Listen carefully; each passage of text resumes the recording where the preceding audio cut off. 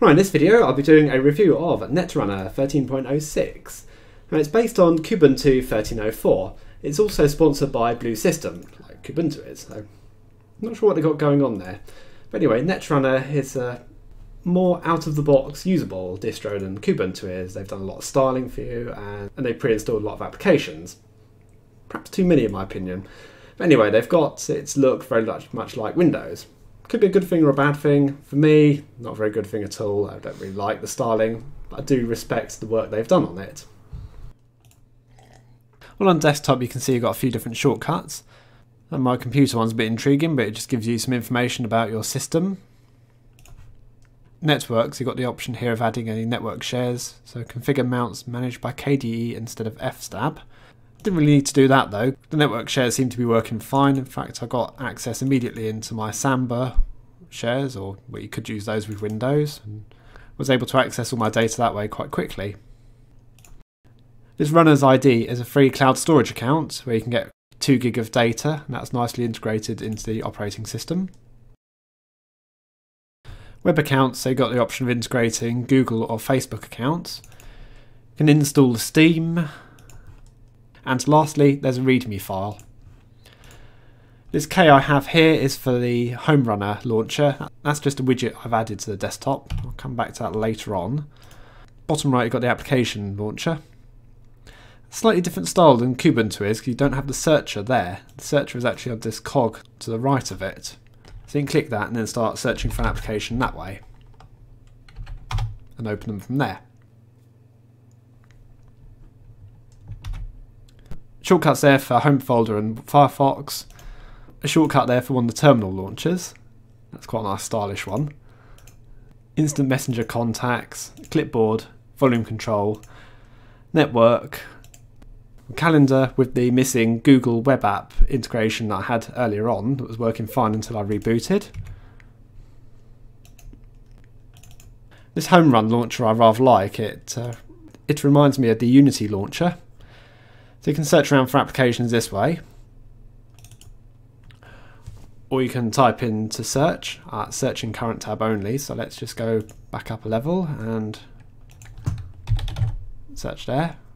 Firefox, yep, there it is along the list. And you can even shut down from there. So you do get a lot of applications pre-installed and a lot of customizations made to Netrunner. One of the useful ones is being able to open the launcher on the taskbar with the Windows key. Doesn't work too well though because I can't get this to run full screen in VirtualBox. Bit annoying, but it crashes every time I hit full screen. Hmm. Searching around in Dolphin was quite nice and fast. We got the previews there on the right hand side for songs and videos and also pictures as well, but of course you can't play pictures. Double clicking on uh, one of these MP3 files opens up the music player now it's QMMP. I'm not sure how to use this one though. I can't seem to get like a whole list of files to play. It doesn't really work very well, or at least I can't see how to make it work. Uh, new list. Yeah, I don't know. Anyway, let's take a look at the rest of the applications. So as you can see, it's split out between applications, games, and web apps. I'll start under the applications and graphics. So you can see we have a couple of image editors. You've got GIMP and Krita. I suppose Karbon, being a scaled vector graphics editor, is sort of an image editor as well. There's the basic view of Gwenview, Kamoso is webcam viewer, and a couple other things there. Internet, quite a variety of applications you've got installed here. You've got an FTP client, you've got Firefox for the web browser, Pidgin Internet Messenger, Q Transmission for the torrent client, you've got Skype pre-installed, and Thunderbird for the email client. Multimedia, desktop recorder.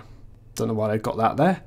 As I mentioned about the music players already, you also got Kdenlive video editor, K3B disk burner, KMix sound mixer, and WinFF the front end for FFmpeg. Office, you got partial suite of LibreOffice version 4. Games, quite a variety of games pre-installed on here. I'm not going to read all those out, but we'll just take a, a look through. There's nothing too heavy in the way of gaming there, although as you can see at the top there we've got the option to install Steam. But why this one? Why a DOSBox emulator? Very weird. And the web apps? That just opens up a window in Firefox to the particular website. And just to show another one working, oh, YouTube.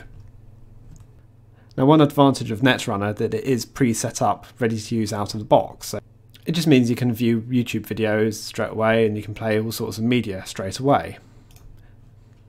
Let's just try one here. Uh, Hello World of Bash scripting. Yep.